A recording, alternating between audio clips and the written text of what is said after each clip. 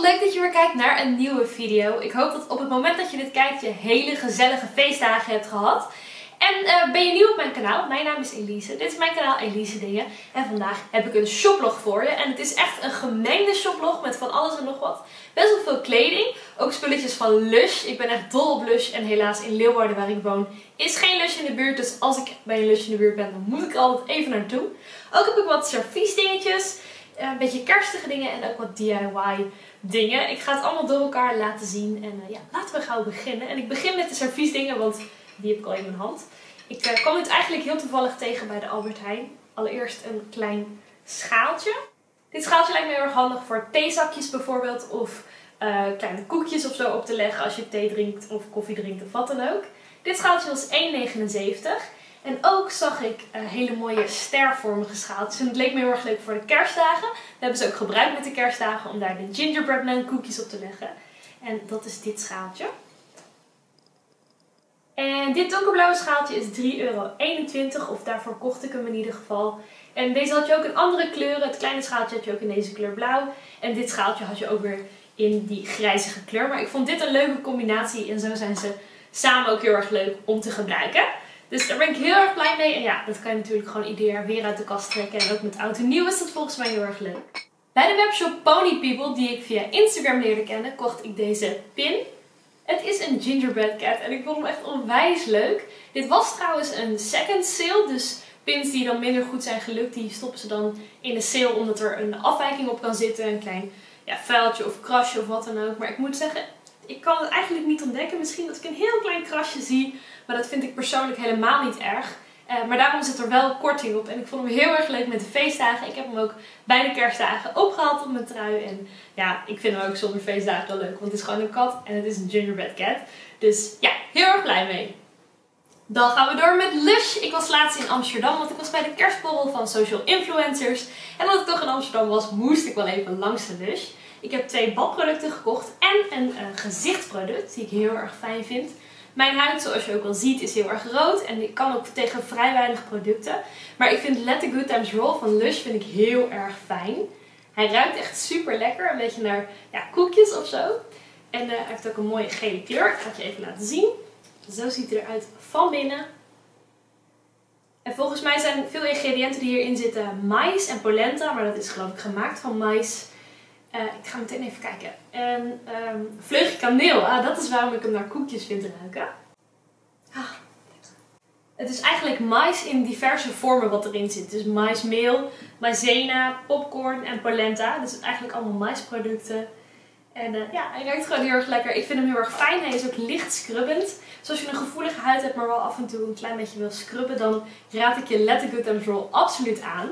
Ook heb ik dus twee badproducten meegenomen. En wij hebben in huis helemaal geen bad. Ook het huis waar ik ben opgegroeid had geen bad. Dus altijd als ik ergens ben waar een bad is, dan wil ik heel graag een bad. En ik ga toevallig met wat vrienden twee dagen naar een huisje waar een bad is. Dus ik heb bedacht dat ik het bad ga claimen. En daar mijn Lush badproducten in ga. Allereerst heb ik de Bath Bomb Shoot for the Stars. En het zakje alleen al is leuk. Het tasje van Lush is ook leuk. Maar het gaat natuurlijk om het mooie product dat erin zit. En die is ook al zo leuk. Kijk nou hoe mooi dat die is. Dat doet me een beetje denken aan het, uh, aan het heelal of zo. Of, of een soort aardbol met sterren. Ik vind hem er heel feestelijk uitzien. Volgens mij is het niet speciaal een kerstcollectie. Volgens mij zit deze tegenwoordig in de gewone collectie. En ik vind hem heel lekker ruiken. Een, een klein beetje naar Honey I Wash the Kids. Een hele bekende zeep van Lush. En ook wel een vleugje Rockstar. Dat is die hele zoete zeep. Ik vind hem gewoon heel lekker. Wat zegt Lush zelf eigenlijk waar het naar ruikt? Sinaasappel en bergamot. Hm.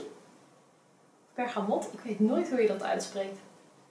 Laat de bom in bad vol water vallen en geniet van een explosie aan geuren, kleuren en verzorgende oliën. Klinkt goed! Check mijn hand. je ziet er ook altijd mooi uit als je producten van Lush vast hebt gehouden. Ook nam ik de Bath Bomb Rocket Science mee. En wat ik hier heel erg leuk aan vond, ik ben echt een sucker voor dingen die er leuk uitzien, is, is de vorm. Het is gewoon, het is een kleine raket. Het is toch onwijs leuk. Wat ik heb begrepen van de medewerkers in de Lushwinkel is dat de vlam, zeg maar, die je hier ziet, dat die een heel spoor van verschillende kleuren gaat achterlaten in een bad. Lijkt me echt super leuk om te zien. Ja, ik, ik vind hem er zo gewoon al leuk, leuk uitzien. Vrolijke kleur. En eigenlijk zijn de geuren van Rocket Science deze dus bijna hetzelfde als die van Shoot for the Stars. Ook weer bergamot en citrus of citroen. Dus ja, beide wel een beetje frisse, frisse geuren. Hou ik wel van. Al moet ik zeggen dat ik de... ehm, er was een kerstbadbomb, eh, volgens mij iets met sweater, een rode met witte rendieren erop. En die rook ook heel lekker, maar die rook juist meer naar kaneel en zo. Oh, dat was echt ook heel lekker. Had ik eigenlijk ook mee moeten nemen, maar ja, zo vaak kan ik niet in bad. Zal ik even snel mijn handen wassen? Dan doe ik alles. Ja, doe maar even. Dat was alles wat ik bij Lush heb gekocht. En dan ga ik verder met de kleding in deze shoplog. En als allereerste is dat de trui die ik op dit moment aan heb. Een groene kersttrui. Een echt ontzettend foute kersttrui. Mocht je mijn weekvlog vorige week hebben gezien, dan zag je hem daar ook al in voorbij komen. En het leuke was dat hij eigenlijk gratis was. Ik was bij de H&M en daar was op alle sale items 3 halen, 2 betalen. En het kwam erop neer dat deze trui dus de, de, het gratis item was. Eh, hij is groen en echt ontzettend fout en best wel lelijk, maar daarom vind ik hem ook juist weer heel erg cool. En op mijn werk hadden we ook een eh, kerstfeestje en daar heb ik hem ook aangehad als foute kersttrui. En ook op tweede kerstdag en hij zit gewoon heel erg lekker. En ik ben er heel erg blij mee. Hij zou origineel, was hij afgeprijsd al tot 5 euro, maar ik heb hem dus niet hoeven betalen. Ook kocht ik in de sale de glitterlegging die ik op dit moment aan heb, ook bij de H&M.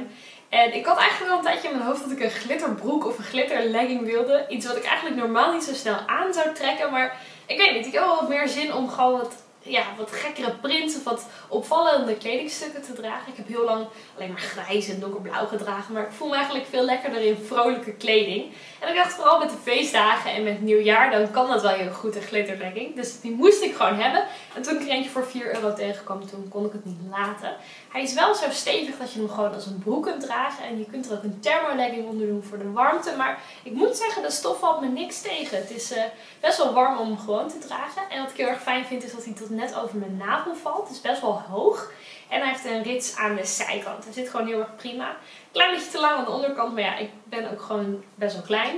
Dus dan heb ik dat heel erg snel. En liever dat hij te lang is, dat je hem wat op kunt rollen, dan dat hij te kort is. En ook bij de H&M kocht ik een streepjestrui. Dit is eigenlijk meer een gewone trui die je gewoon de hele winter kunt dragen. Eh, ik had eigenlijk niet zoveel truien of vesten. En ik dacht, ik moet er gewoon een lekkere baggy trui bij hebben. En toen zag ik deze trui. Toen dacht ik, ja, dit is helemaal... Hier, dit vind ik leuk. Hier word ik gewoon vrolijk van. En ook hier zit een subtiele glitter in. En deze heb ik inmiddels ook al meerdere keren gedragen. En ik denk ook dat ik hem nog heel vaak ga dragen. Een week later was ik weer in een H&M, maar dan in Amsterdam. En daar kwam ik ook nog een glittertrui tegen. Ja, ik geloof echt dat de glitters naar mijn hoofd zijn gestegen. Maar ik kon hem niet laten liggen. Ik had ook een poll geplaatst op Instagram of jullie vonden dat ik hem zou moeten kopen of niet. En eigenlijk stemde iedereen op ja. En ik dacht zelf ook, ja, dit is zo leuk. Een vrolijke blauwe kleur. En hij heeft dus ook glitters. En hij zit gewoon heel erg lekker en eh, ook wel mooi vond ik zelf. Dus eh, die heb ik ook meegenomen. En ik vond hem ook eigenlijk wel heel gaaf bij mijn glitter legging. Ik had, eh, voor, want ik geef dus toneelles aan kinderen. En ik had daar bij elke groep een, een feestje, een kerstfeestje om het jaar mee af te sluiten. En bij een andere groep heb ik dus de glitterlegging met de glittertrui aangehad. En ik vond het zelf eigenlijk wel heel erg leuk. Ondanks dat het een beetje glitter galore was, vond ik het eh, toch wel kunnen. En deze trui was 5 euro. En bij diezelfde H&M kocht ik voor 2 euro dit streepjes t-shirt. Op zich heel erg simpel, maar het leek me leuk om er een patch op te strijken. Ik heb een patch met een raket erop en het leek me heel erg leuk om die eh, erop te strijken. Of misschien een andere patch, want ik heb best wel veel patches die ik heel graag nog wil gebruiken. En voor 2 euro dacht ik, nou, daarvoor kunnen we het wel proberen. Ook werd ik een tijdje geleden benaderd door de webshop Light in the Box of ik een aantal producten wilde uitzoeken. En ik zag dat ze een aantal DIY producten hadden die ik heel graag wilde uitproberen. En ze wilden me ook graag wat kledingstukken opsturen. Dus ik dacht, waarom niet? Ik kan het altijd een keer proberen en met jullie delen wat ik ervan vind. Ik heb hier de kledingstukken, maar daar wil ik zo meteen even over praten. Ik laat je eerst de, de, de, de, de DIY producten zien. Hij is heel leuk, maar hij kwam maar een paar dagen voor kerst aan, dus ik heb hem nog niet kunnen gebruiken. Het is deze punch in de vorm van een dennenboompje, maar ja, kerst komt ieder jaar terug, dus ik kan hem altijd nog een keer gebruiken. Het lijkt me heel erg leuk om voor een kerstsneeuwmeel hier uh, dennenboompjes confetti mee te maken. En ook, om ook heel erg leuk leek voor sneeuwmeel, zijn deze sterrenlijntjes. Ik heb er uh, eentje in een coole zilveren kleur met roze en eentje in een gouden kleur. Ik zal ze even uit de verpakking halen. Volgens mij is het dus een slinger met allemaal verschillende, ja, allemaal verschillende sterretjes eraan. Oh, wat leuk! Ik wilde deze eigenlijk voor sneeuwman gebruiken, maar ik ga dit misschien wel in mijn atelier ophangen. Sterretjes! Ja, dus ik heb nog niet helemaal bedacht wat ik hiermee ga doen, maar ze zijn hoe dan ook leuk. En dan nog even de gouden variant. Oh, deze is echt gewoon goud en zwart. Die andere die had dan nog uh, roze erbij. Maar dit is echt goud en zwart. En ik denk ook dat dit hele leuke uh, decoratie is voor oud en nieuw. Of voor een nieuwjaarssneeuwmeel. Want daar wil ik ook nog een aantal van gaan maken. En daar, dat had ik eigenlijk in mijn hoofd om hiermee te doen. Maar ja, het is ook wel heel erg leuk om dit gewoon op te hangen. Ik, uh, ik ga er nog even over nadenken. Maar ik, ik vind dit wel echt heel erg leuk.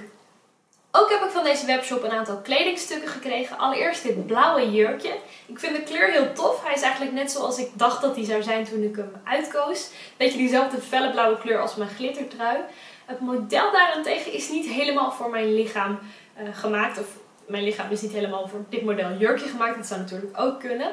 De lengte is op zich goed. Uh, het zijn geloof ik Aziatische maten. En dan wordt aangeraden om uh, twee maten groter te bestellen. Dus dat heb ik ook gedaan. En op zich zit hij prima. Alleen het borstgedeelte is echt veel te kort voor mijn borstgedeelte, zeg maar.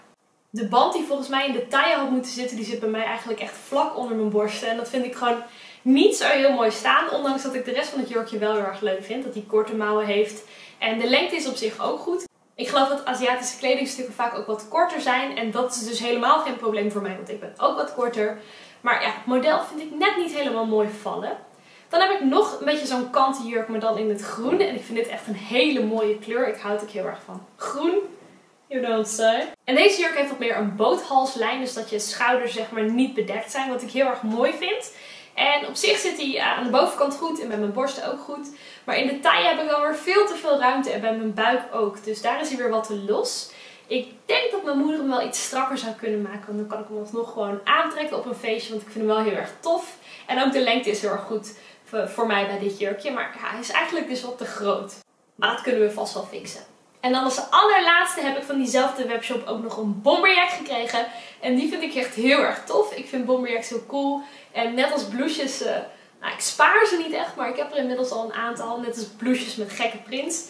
Ik vind het bij bomberjacks ook heel erg leuk om daar een beetje vrolijke kleuren of gekke details of zo. Ik heb er eentje met uh, insecten erop geborduurd bijvoorbeeld.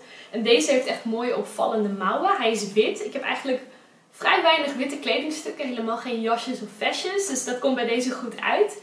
Hij heeft ook zakken, dat vind ik heel erg fijn. Ze zitten wel los aan de binnenkant, dus die ga ik denk ik ook nog even vastzetten. En ik denk dat het een heel leuk item is om straks ook in de lente te gaan dragen. Dus hier ben ik heel erg blij mee. Dan was dit alweer mijn shoplog. Ik hoop dat je het leuk vond om te kijken. Ik wil je in ieder geval heel erg bedanken voor het kijken. En ik zie je natuurlijk heel graag weer terug bij een volgende video. Heb je mijn weekvlog nog niet gezien? Ik wil je vragen om hem te bekijken en me te laten weten of je zoiets leuk vindt om te zien op dit kanaal of niet. Want het was voor mij natuurlijk even uitproberen. Het is iets nieuws voor mij, maar het lijkt me best leuk om het vaker te gaan doen. Als jullie het natuurlijk ook leuk vinden om te kijken. dan kan ik in het nieuwe jaar wel beginnen met weekvloggen. Laat het me weten en als je andere video's wil zien, laat me dat ook weten. Voor nu heel erg bedankt voor het kijken en hopelijk tot de volgende keer. Doei!